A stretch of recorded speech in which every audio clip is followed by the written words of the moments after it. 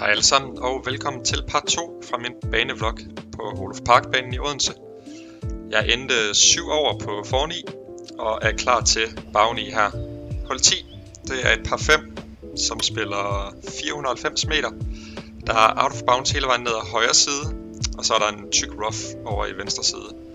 Så hvis I kan se den store række træer over i venstre, så er der et lille træ lige til højre for dig. Og det er egentlig der min linje er. Og som jeg sagde i sidste video, så fik jeg ondt i ryggen undervejs, og det kan man også godt se i mit sving på bagni. Rammer den ikke helt super her, og kommer over at ligge bag nogle træer, som jeg ofte ligger bagved. Så her har jeg 280 meter ind, og kan lige finde et hul op til højre her, imellem træerne, så jeg slår mit 20 og prøver at få den godt frem. Jeg vil lige undskylde på forhånd, der er lidt problemer med kameraet i den her film, hvor den ikke rigtig kan fokusere, eller det ligner, at der er en skygge rundt om mig af en eller anden grund.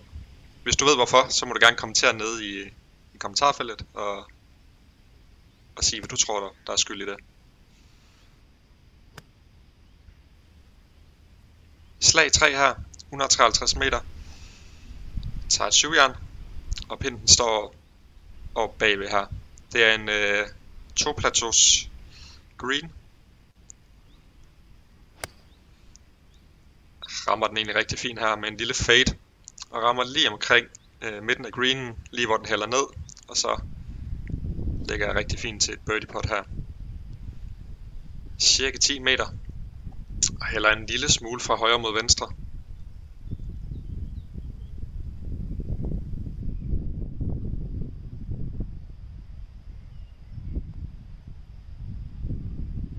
Får egentlig et fint træf på den, men den bliver lige en lille smule kort.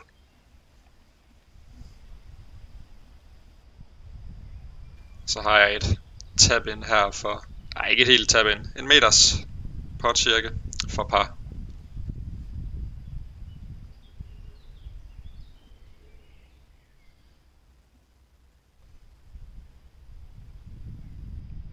Og et fint par. Så er vi på hul 11. Det er par 4, og det er en af de jeg har to ekstra streger på. Den spiller 357 meter, og egentlig en ret bred fairway. Jeg sigter ned efter højre side af bunkeren, og så vil jeg have den til at fade lidt ind på fairway. Det, man kan ikke se bunkeren herfra, fordi den lige går en lille smule op. Og den her bold her, den trækker, hooker jeg bare over til venstre, over i træerne, ude i det rigtig lange rough. Så jeg skyder lige en provisorisk bold.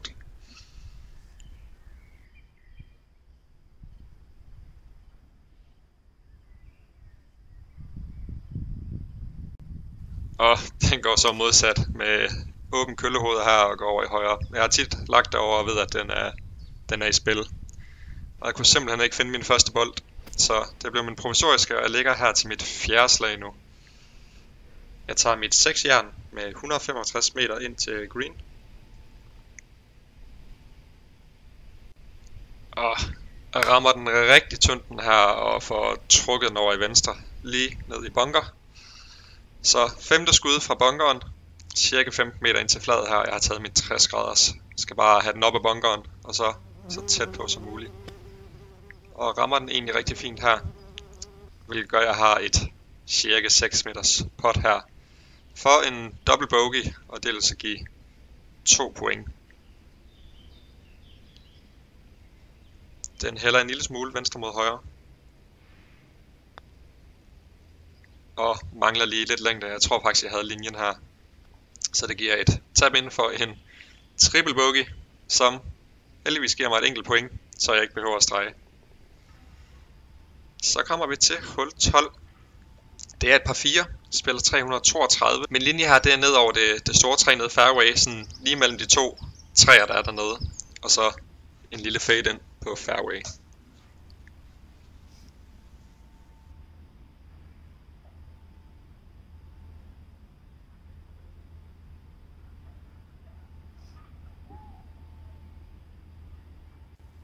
Og jeg rammer den med et åbent hoved igen.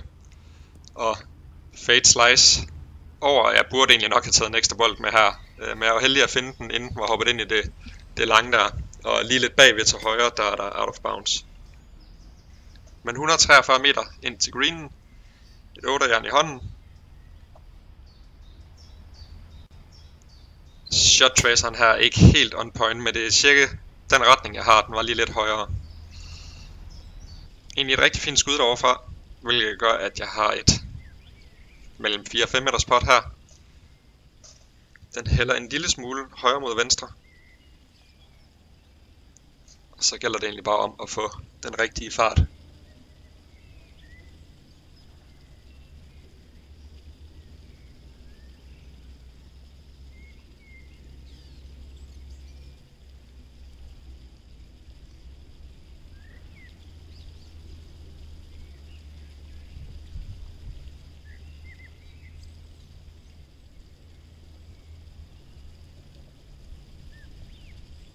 Den går også en lille smule ned ad bakke her, og jeg turde ikke give den alt for meget, og den vil heller ikke have gået i, hvis den har fået mere, men et tab ind for par her. Hul 13, det er et langt par 3, den spiller 165 meter, og jeg har et 5 i hånden her. Pinden står øh, back green, så altså, hvis jeg bare kan ramme green her, så er jeg altid glad. Det er sjældent, det sker. For at trukke den her en lille smule, og rammer den heller ikke så rent. Så jeg ender foran greenen her, tager min 60 graders sweats med en 30 meter til pinden cirka. Og når jeg tænker over det her bagefter, så vil jeg nok have, have taget en anden wedge, men det er fordi den lige, der er lige et stykke man skal op over her. Og jeg får simpelthen ikke slået, slået til den, så jeg rammer lige ind i, i bakken på front green og ruller ikke så langt. Så det giver mig et rimelig langt pot for, for par her.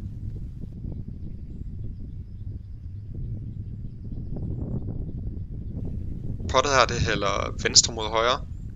Og så er det op ad bakke.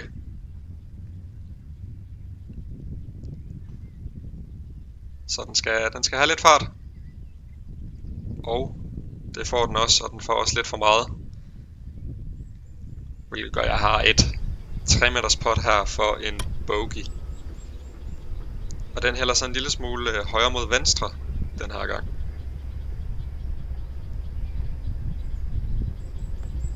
Og den tager lige kanten og går i for en bogey, hvilket gør, at jeg er 11 over.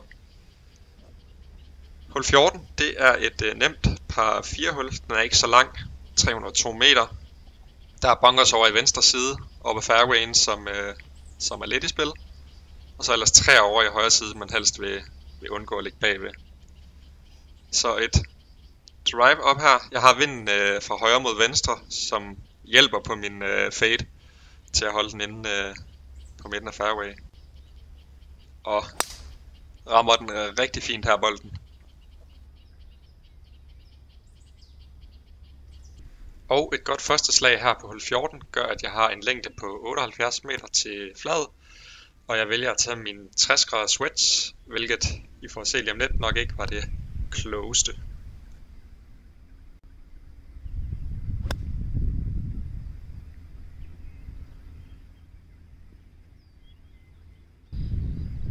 Jeg lægger kort af greenen her i mit tredje slag.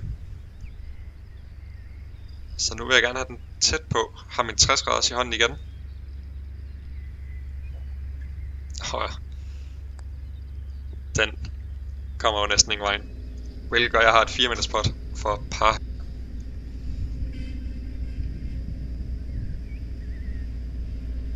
Den skulle nok mene, at jeg skulle ligge noget tættere på efter sådan et drive på sådan en hul her. Pottet her er rimelig lige, men en lille smule op ad bakke. Og et tab ind for en bogey. Hul 15, det er et par 3. Der er bunkers ned højre for, og ellers er der ikke så meget til den. Jeg har et 8 i hånden, og vinden, en del vind fra venstre mod højre. Sigter egentlig venstre side green eller midt green, og fladet står over i højre side. Og rammer den med et åben hoved her, og så bliver den ellers taget af, af vinden videre over til højre. Og ender ude i det dejlige tykke rough her, hvilket gør, at jeg har en 22 meter ind til fladet her, og skal ud af det lange stads. Så 60 grader i hånden. Og får den egentlig poppet rigtig fint op her, lige mod pinden. Og ruller lige lidt langt, så jeg har et 4 meters pot cirka, 4-5 meters pot for par. Den hælder en lille smule øh, højre mod venstre. Får egentlig slået den rigtig fin. Og den ligger næsten halvt ud over kanten her på hullet. Og skal lige tjekke, kan den falde ned? Det kan den ikke. Så en bogey, hvilket gør, at jeg kommer 13 over. Hul 16 er et par 5, der spiller 435 meter. Der er en del øh, over, man skal have, tage hensyn til her. De langslående, de kan godt tage driver og slå ned over nummer 2 å. Men øh, jeg tager mit 5 jern og slår den over til venstre og prøver at komme så, så langt over som muligt. For måske ikke startet helt nok venstre, øh, men ellers et fint slag her. Og som man kan se, så skal den ikke være meget længere i den retning her, så man vil gerne have lidt mere venstre. Men 270 meter skal bare have lagt den op her med et 6 jern. Og shot traceren er ikke helt on point her, den er lidt mere højere end den viste der. Men rigtig fint slag, der gør at jeg har min uh, øh, pitching wedge 48 grader til at skulle spille ind med her. Flad i bagkant og 106 meter.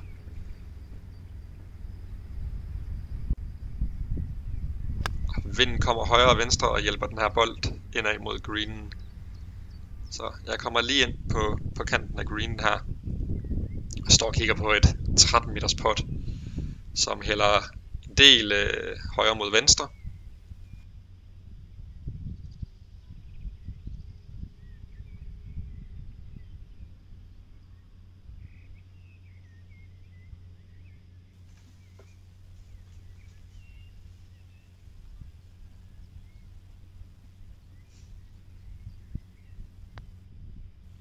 rammer den egentlig rigtig fint og har næsten læst linjen rigtigt her. Desværre ikke noget birdie, men øh, et nemt tab ind for par her.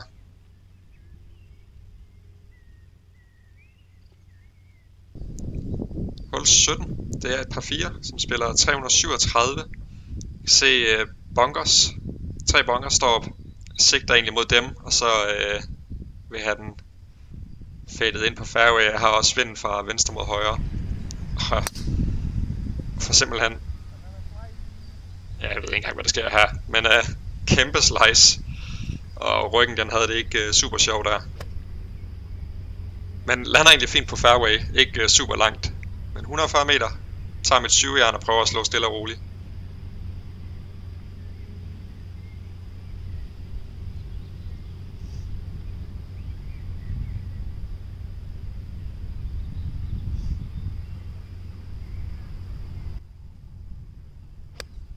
og jeg får simpelthen trukket den her over venstre for, for greenen.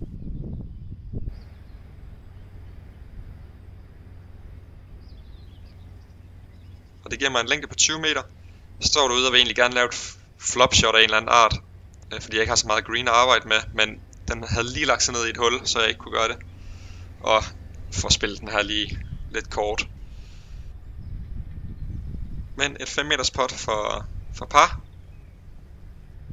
hælder en lille smule øh, venstre mod højre her, og jeg ligger lige ude i, i kanten af green her, det er lidt længere. Så den skal have lidt fart for at nå op til hullet.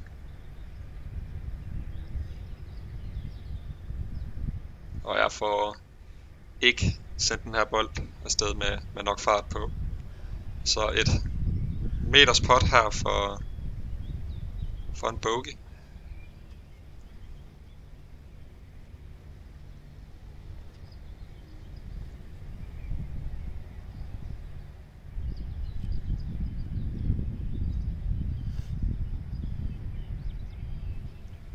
Plejer at være, være ret sikker inden for den her afstand.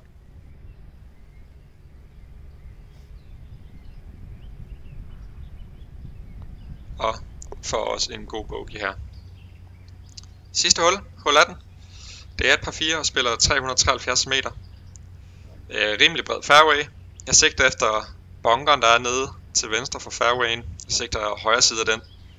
Og så får den lille fade ind, som jeg gerne vil. Der er lidt træ over i højre, og dem får jeg se lige om lidt for åben køllehoved igen, og lige med, med træer, der skal spilles forbi.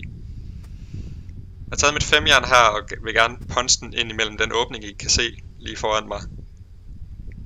Og så bare få den ud på fairway og så et stykke frem. Men puncher den simpelthen til venstre, for der jeg gerne have den op i træerne, og er ikke tilfreds. Ikke engang ude på fairwayen. Men 125 meter har min pitching weights 43 grader i hånden, og skal bare tæt på flad.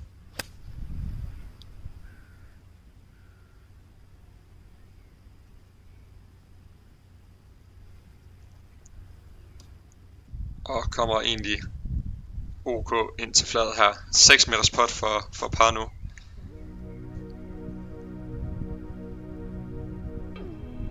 Et rimelig langt uh, par pot. Men han er en lille smule venstre mod højre. Rigtig fin linje jeg havde der, den fik bare ikke nok.